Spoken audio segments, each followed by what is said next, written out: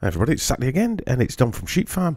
We've got a new release out, and this week we had a bit of a, a double show. Uh, we had a chat with author Shannon Rowan, who you might remember we talked with last July, it was, with John Hamer uh, when they released their book that they'd written together, Welcome to the Masquerade.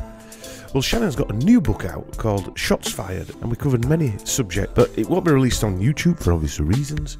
It'll be available at sheepfarm.co.uk, that's sheepfarm.co.uk. We've released this full interview, which is about two hours long, for everybody.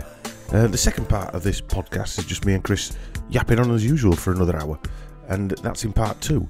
So, hope you enjoy it. Uh, see you soon. If you're coming to St. Anne's, we'll see you there. But.